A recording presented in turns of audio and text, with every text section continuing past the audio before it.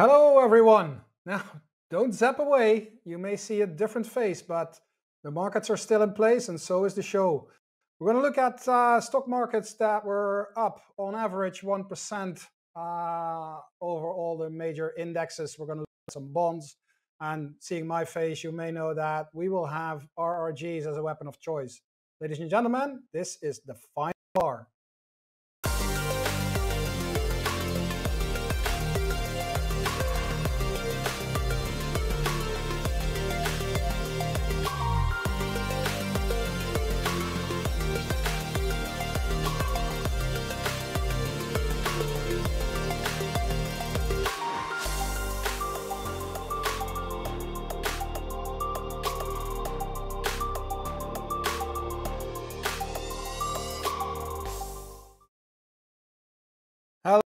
Everyone. Welcome to today's edition of the Final Bar. As I said, you may see a different face.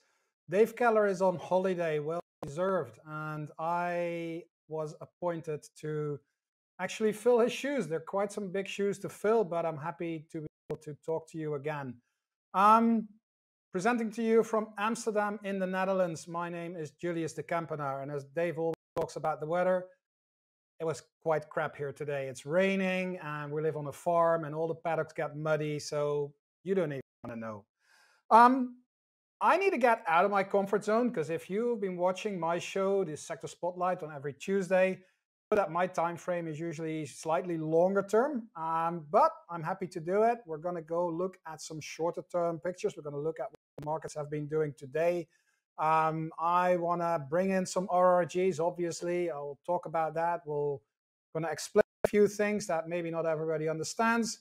Obviously, we're going to look at sectors. If you look at RRGs, you need to look at sectors. And I do need to um, give you guys the rundown of the upcoming events. Um, tomorrow, Dave will also be on holiday, and the show will be hosted by Tom Bowley chief strategist at Earnings Beats, and very well worth your time, I would say. Um, then it's the weekend, obviously, and then uh, next, well, that's Monday. The well, no, that's Tuesday the twelfth. Actually, that's a very important day, Tuesday the twelfth, because that is the 100th episode of Sector Spotlight. So don't forget that.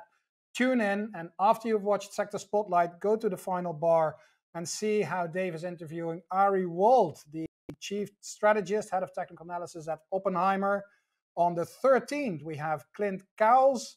He is the senior strategist at TD Ameritrade, educating institutional investors. I think that's a very important role.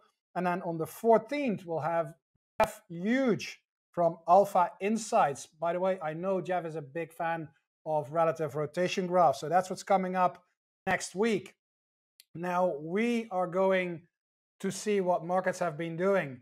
We just closed. The um, markets were opened up strongly, as you can see here in the little uh, in the little widget here. Uh, S&P closed 0.8% higher. So we came off the highs, and that goes for pretty much all the stock market indexes. We gapped higher, and then we we traded sideways, and we we ended the market slightly lower. We'll dive into that a little bit better later on. Nasdaq up 1%, NYSE up 1%. The small caps up 1.5%. So that is actually better than the S&P 500. So small and mid caps outperforming the S&P 500 today. Uh, S&P 100 up 8 bips and the Nasdaq 100.8.9. If we look at the bond market, those were up in general. Only the long bonds were down. Uh, and that means actually that when you have the uh, the long bonds going down and the shorter ones going up, that you will have um, uh, a steepening of the yield curve going on. We have time, we may bring up that chart. Commodities kind of mixed, the uh, precious metals lower, all the other ones higher. And then on crypto, the Bitcoin was going low. You see a mixed market, and I'll have a little bit of a surprise for you later on in terms of crypto. Now, when I was preparing for the show, I, I thought of how I was doing uh, my daily work when I was uh, back in the day uh, at, at, institutions. And we would always read papers. You know, everybody was reading papers in the dealing room. Everybody was reading papers. What was the most important page in the newspaper? You guess it. That's where the cartoons were. And I have a mark on my screen because we don't read a lot of papers anymore, do we? So um, every now and then I bring up the Alex cartoon. And I'm I'm not sure if it's well known in the US, but it certainly is here in the Netherlands and in the UK because Alex is a very posh investment banker working for uh, the imaginary mega bank in London. And uh, I just I just couldn't resist doing this. So this is Alex and this is Penny, his wife. And she says, So Alex, you taunted all the drivers queuing for petrol by pointedly charging your electric car. Now you got to know that right now in the UK, there is a shortage of petrol for cars. There are actually uh, uh, traffic jams and queues for people who need to get petrol. Uh, and the army is being uh, used to actually um, uh, replenish the, the, the, fuel to the stations. So Alex says, Of course, Annie. And then she says, For you, an electric car is just a status symbol that allows you to engage in pretty games of one, up ship with other motorists. You should learn your lesson. That is not what switching to clean energy vehicle is all about. You're probably right, Penny. I can't even rev this thing's engine up loudly to draw attention to myself. None of the losers in the queue even notice me as I'm driving triumphantly past them. Damn it, this Tesla was a waste of money. Anyway, I hope you like it. And if you go to the site Alex Cartoon, you it's funny. It's funny. Anyway, back to the markets. Um, my starting point is most of the time an RRG. So we've looked at, at all those markets here, different asset classes. I do that. I try to bring up, or I bring up uh, an RRG showing a number of asset classes. Those of you who, who are watching Sector Spotlight may be familiar with this one. If you look at the daily, daily RRG, um, we can see the short-term movements of those asset classes. And as you can see here, uh, the last few days for ITOT, that's the uh, overall stock market index, they were pretty good. It wasn't lagging and it's rotating back up. And you see its counterpart, government bonds uh, and corporate bonds and high yield, uh, rotating back down from leading and into the weakening quadrant. That is giving us a picture of um, a preference for stocks, at least in the near term over the last few days. If you look at the um, the out the, the, the class that actually really stands out, that is commodities. And the, the ETFs that I track here are DJP and GSG, and you can see they are actually um, they're jumping out. If you look at the table here, they've gained 2.8 and 2.6 percent over the last five trade days. VBINX is the benchmark, and that is uh, a 60 40% benchmark 60% in stocks, 40% in bonds. Now, if we bring that to uh, individual charts, and I want to bring up ACP because uh, we can do this on Candle Glance, but we can also do it on ACP. And I thought it would be neat to actually uh, use ACP for this uh, for this occasion. And here you can see the the move of the S&P jumping higher at the open, moving sideways, and then coming off. These, by the way, these are all hourly charts, so they give us uh, a picture of what's going on over the last 10 days. So it's short term, but we can put it in relation to what's happened over the last few days. So now Dow Jones pretty much the same, Nasdaq pretty much the same, NYSE pretty much the same. But if you look at, um, for example, here we, we see that small caps and mid caps were outperforming the S&P. Well, they did that today, but if you look at the um, uh, image for the last few days, then you can see that the S&P actually jumped higher over the highs than uh, small caps and mid caps did that. So for today, small and mid caps were stronger, and I can show you an RRG where you can see that the trend is actually moving. But in the bigger picture, small and mid caps are still well uh, below the S&P in terms of performance.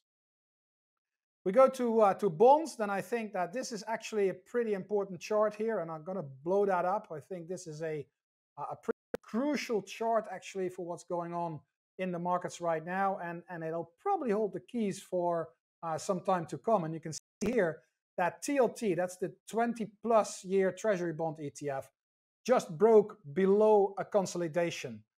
this is uh, adding to the narrative of government bonds breaking lower and pushing yields higher. And I'm not convinced that that is a good sign for the stock market. The 7 to 10 year is still uh, hovering above those levels.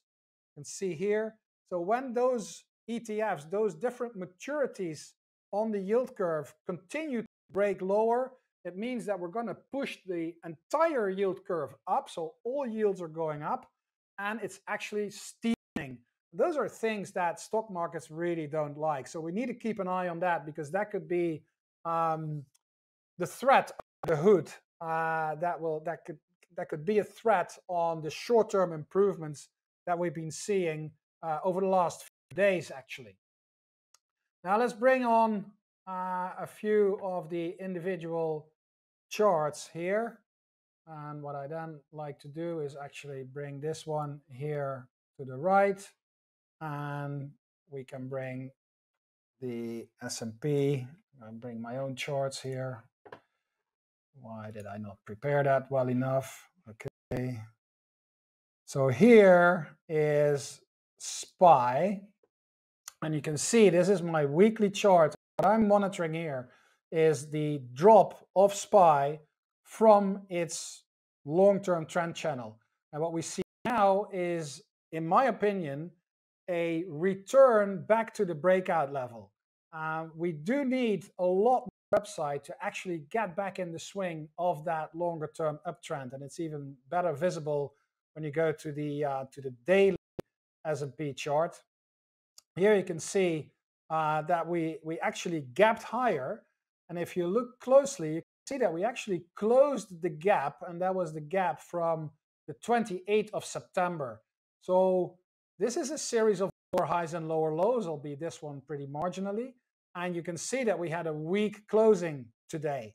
Um, so this is still one high, a lower high, and potentially another lower high. We've just closed that gap, and we are we are pushing against that old support line that we can now expect to, uh, to act as resistance. So I'm very closely watching that.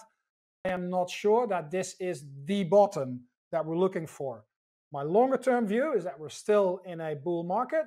You look at the longer term charts for all the sectors, for all the, for, for, for all the stock market indexes.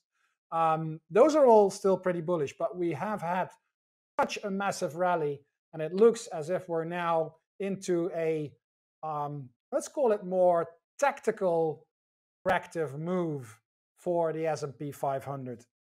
We're going to wrap up this segment here for an overview of market asset classes. We're going to quickly go to a commercial break.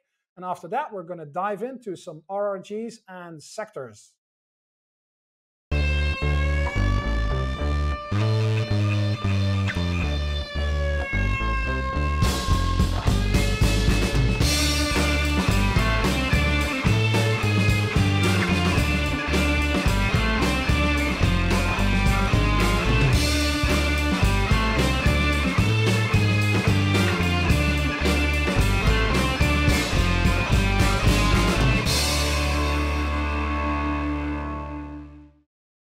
And thank you for staying with me. Uh, we're back with the final bar for today.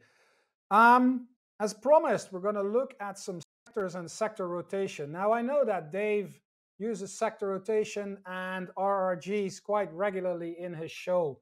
Um, one one uh, item that I want to address today, because I got, uh, I, actually today again, got a question asked on how these RRGs are updating. And uh, people who watch me more often know that I'm talking about weekly and daily RRGs, and I'm trying to uh, to combine them and see if if anything aligns.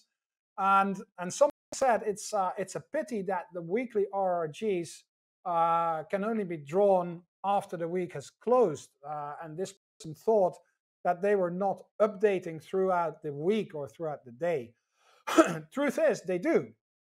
Both the daily and the weekly RRGs are updated throughout the trading day up to the last observation. The only thing is that the last, I call it the last segment of an RRG, that is fluid.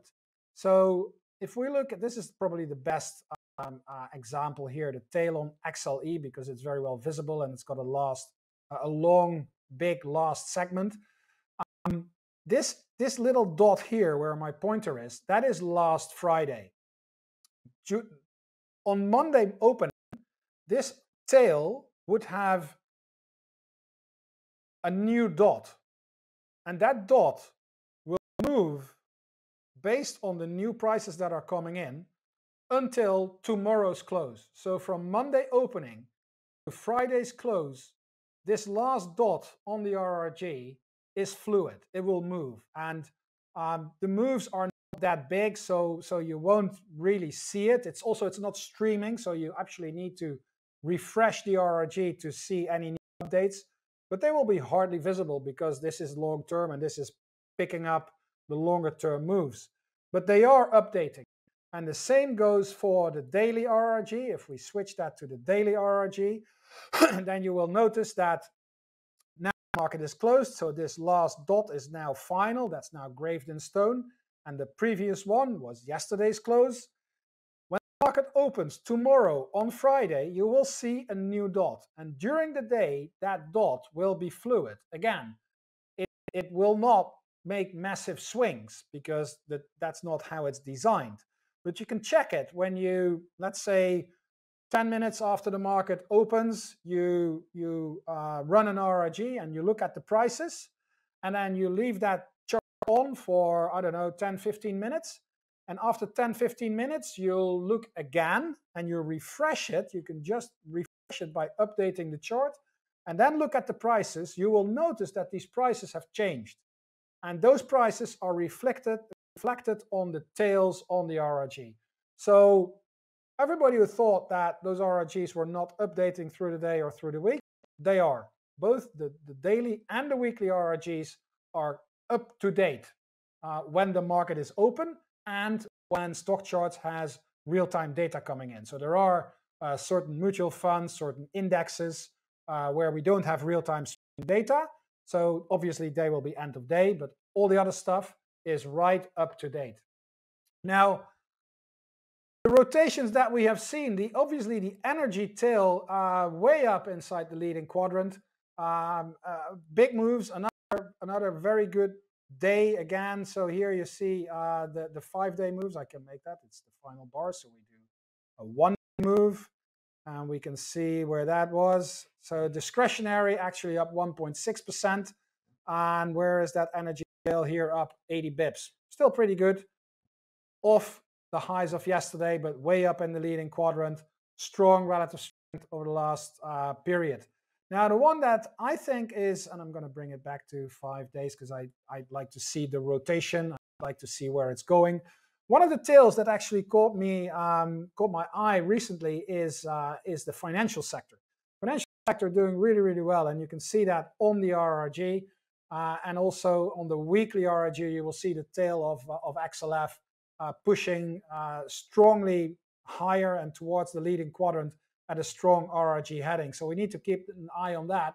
Uh, and I'm not a fundamental analyst, but rising rates and steepening yield curves, I've been taught, are good for financial stocks. So that's a sector that you may want to keep an eye on, um, despite the fact that the general market may be under pressure, that financial sector could be doing quite well. Um, we need to talk about three and three. We're going to do that later. I'm going to take a little bit more time uh, for that. Let's look at the uh, material sector. Materials here, that's a very nice tail moving into the leading quadrant. On the price chart, we are resting at support. This is weekly support, and on the relative strength, you can see that. This is the weekly version of that chart. Let me bring in the weekly tail and bring up XLB for you. You can see that it is inside lagging and picking up. So the big question is whether that daily strength for XLB will be strong enough to pull this one further up and higher. same goes for financials, same goes for industrials. Now, the the next level thing that uh, I, I very often do, and I think you might be interested in, is dive a little bit deeper into those sectors. And we can actually do that from the home page, from the dashboard. If you, if you go to your dashboard, I'm not sure how you've arranged it, but I always have uh, the sector summary up there. And you can actually dive into one level deeper and go to the sector summary page. And we need to make that a little bit higher. If you bring up that table, you will see a small icon with four quadrants. That's the RRG icon. Now, let's stick with um, financials. If we have financials, you're here, and you click on the RRG icon, it will bring up the groups that are inside the financial sector. So not the individual stocks, but the groups that are inside the financial sector. Now, these are now benchmarked against the S&P 500, and they're all showing overall a pretty strong uh, heading, which is to be expected with the sector itself inside the leading quadrant. But if we bring this to, or make the benchmark the financial sector, you actually get a different picture. So now we have all these groups, and they are now benchmarked against the financial sector. Let me bring this to a weekly so we're talking the same things. So here you see the financial sector, as I said, insight improving at a nice strong heading, moving towards the leading quadrant. And these are the groups that make up that sector. And this allows us to actually go one level deeper into that financial sector and see which groups are actually potentially interesting going forward. and we go into those groups, and the way I do it I hold down my control key and with the arrows I can toggle through the list. And here is the full line insurance. This one has my attention as it is uh, traveling at a strong RRG heading further into the leading quadrant. XLF is actually now the benchmark. You see uh, mortgage finance, and here is US banks. So we have banks and full line insurance at a nice heading. We got IL, that's life insurance, not as strong, but pretty good.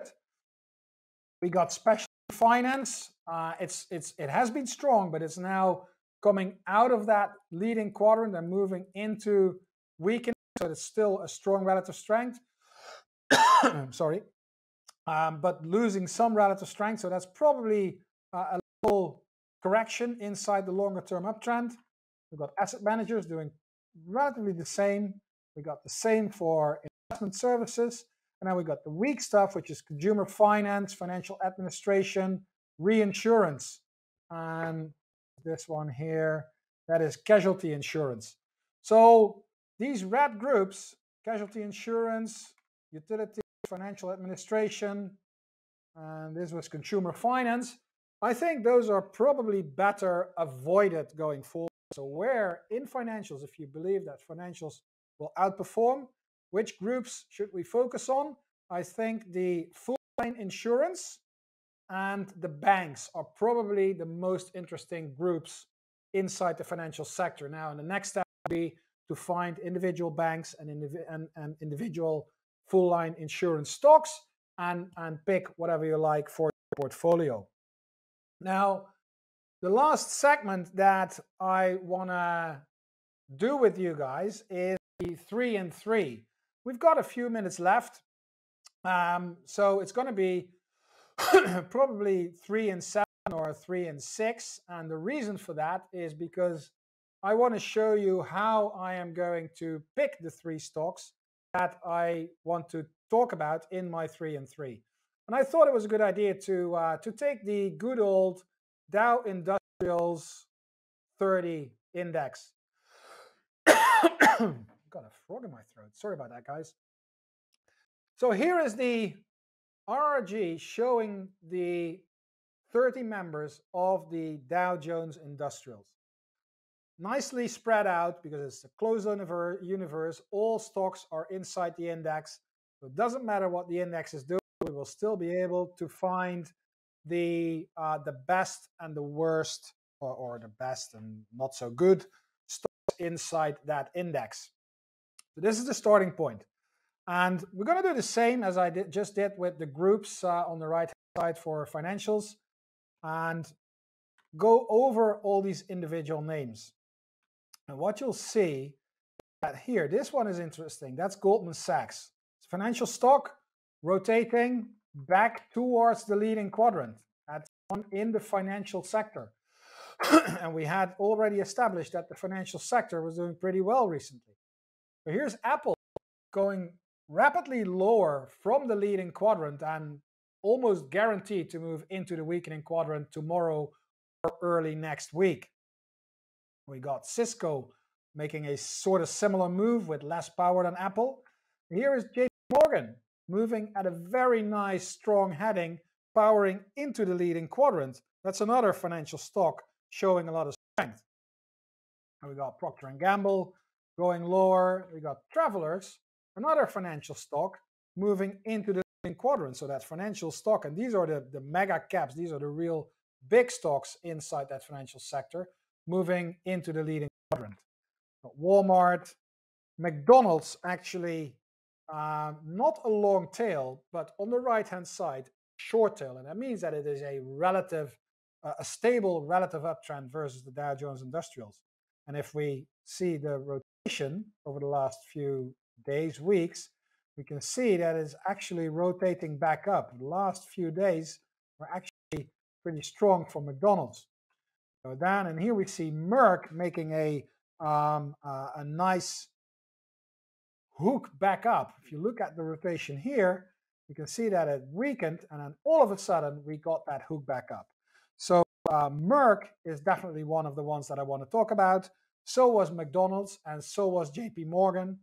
And here are the rest, which are still far away to the left. So I didn't want to uh, go about them. So my three stocks, three and three, JP Morgan, Merck, and McDonald's. Let's bring them up on the chart. So um, JPM why is that strong? It's breaking out to new highs with relative strength picking up and the RRG lines about to break above both the uh, lines above the 100 line, pushing it into the leading quadrant. That is a good thing. And this is one of the few stocks that's actually breaking to new highs already. The second one that we're going to talk about is Merck. And obviously, that has everything to do with the news about COVID, not vaccinations, but cures, etc it bounced off an important resistance level, that former high that was from late 2019. But we got out of that big triangle consolidation, and it looks as if we're bottoming out in terms of relative strength. If this can continue, if Merck can push next week probably above 84, then this is one of the more interesting stocks inside the healthcare sector and the pharmaceuticals group. And then finally, the last one is, as I said, McDonald's. And this one is also breaking two new highs, and that's happening after a pretty long-winded downtrend in terms of relative strength. So we're looking for a bottom in relative strength, both RRG lines pushing above 100 in uh, shortly, while price is already pushing to new highs. I think that is uh, a positive cocktail for McDonald's going higher um, in the next few days. We got to wrap this up, guys. Thank you so much for staying with me. Uh, next week, Dave will be back. Tomorrow, it'll be Tom Bowley. Uh, I love to hear your feedback. Let me know what you liked, what you didn't like, what you'd like me to talk about next week. And I sure hope you'll have a very good weekend. Thank you very much.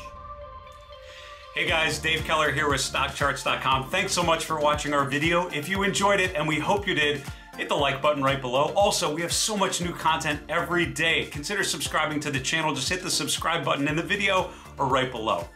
Thanks for watching. Stay safe. Have a fantastic day.